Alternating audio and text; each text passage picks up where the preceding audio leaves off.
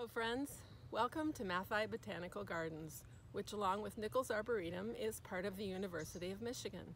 My name is Kathy and I would like to introduce you to one of my favorite trees on the Sam Graham Trees Trail. Come on, and here's the tree I'd like to tell you about. And here's a fun way for you to discover its name.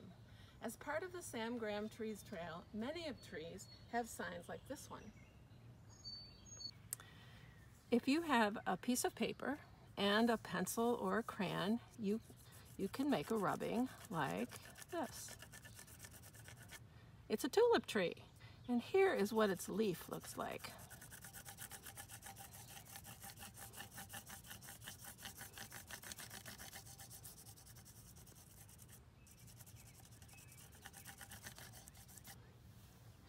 Each leaf looks more or less like the image I just made. It has four lobes, and one main vein going right up the middle.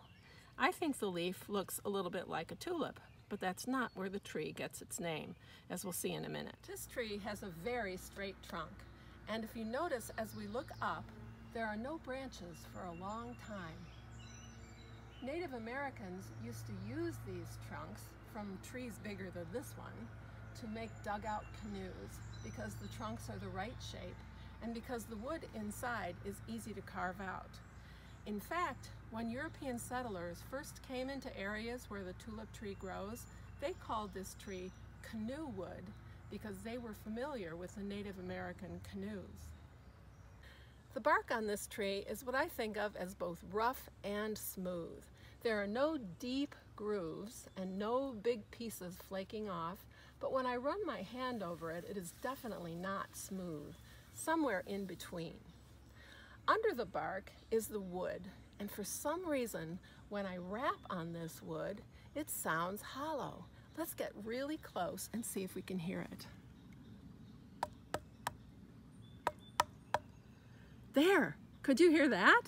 Pretty cool. So we know why the tree was once called canoe wood, but why is it called tulip tree?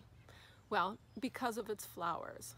The flowers are shaped much like the tulips that we see bloom in the spring. I brought a picture with me because these trees bloom in May and June and the flowers are often hard to spot from the ground. Look at the beautiful colors. Each flower has six greenish yellow petals with a splash of orange in the center. What do you think the reason for that splash of orange might be? If you think it might have something to do with insect pollinators, you're right. If I were a bee, I would head straight for that splash of orange, and there I would find lots of sweet nectar. In fact, there's so much nectar there for the bees to make honey with that some honey is called tulip tree honey. Yum! But of course, the real reason for a flower is to make seeds. After the flower is pollinated, it makes a fruit that looks like this. It looks kind of like a cone made up of individual seeds. And as you can see, each seed is attached to a papery wing. What do you think makes that papery wing so important? If you'd like, you can join me in an experiment to find out. I'm going to use materials that you will probably have at home, and so you can click the link below and give it a try. In the meantime, happy trails, and I hope to see you out at Matthaei Botanical Gardens soon.